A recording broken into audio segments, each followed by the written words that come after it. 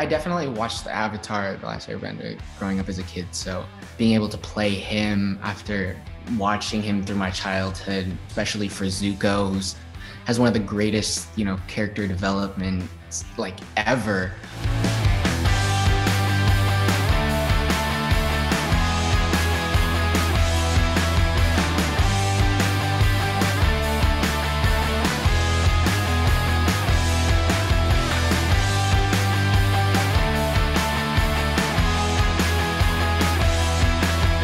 Hi everyone, my name is Dallas Liu. I, I play Shuji on Pen 15 and I play Rui Hua in the new Marvel Shang-Chi movie. And uh, soon you'll see me as Zuko on Netflix's live adaptation of Avatar The Last Airbender. I got involved with Netflix's Avatar project the same way everyone else did. I had um, Zoom auditions. After a couple weeks, I found out I had booked the project. Although it is really nerve wracking because there is that huge fandom, and especially for Zuko, who's has one of the greatest, you know, character development like ever. I've been taking it extremely seriously, spending a lot of time putting in the hours. So everything that I do on screen is everything that I got inside me. I definitely watched the Avatar: The Last Airbender growing up as a kid, so being able to play him after watching him through my childhood, it taught me a lot growing up as a kid. So now that I'm growing up and I'm seeing, you know, the lessons that Avatar was teaching us as kids, is it's really cool to see.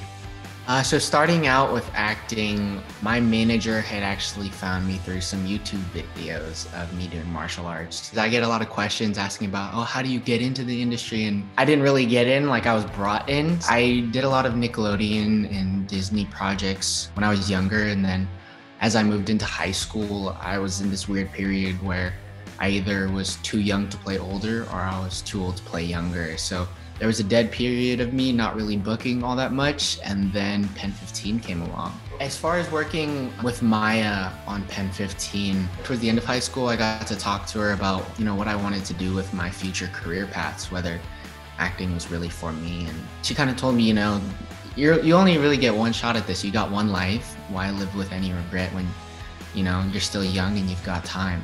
And I decided to stick with it after high school, obviously. Then Marvel came along and I got to work with Simu and Awkwafina. And Awkwafina just gave me, I guess, affirmation telling me that I had a place in this industry, which was really nice to hear because I was almost at a breaking point before that. I would absolutely love to be a superhero for Marvel. I think that's everyone's got that on their dream roles list, but I feel like Zuko fits that, but also more because he starts out as villain and then becomes a good guy. That's probably like the best they get. So of course I'm extremely excited for all the representation that's going around for Asians. Like I mean like every time I see like an Asian person on screen, I'm like, hey, good stuff, you know? Just because in our culture it's definitely not the most common route to take at all. Luckily my parents are supportive of that.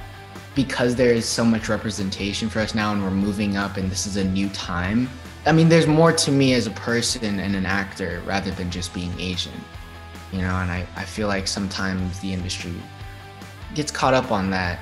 As a kid, I wanted to be like Jackie Chan. I thought his Rush Hour series was incredible, but right now, I want to be an individual um, and a solid actor, not just an Asian one, you know? Anyone I'd like to work with? I think as far as directors go, Taika Waititi is on my list. Steven Yeun, Timothée Chalamet, right? Dude's dude's fucking killing it. I love him so much. He's he's so good.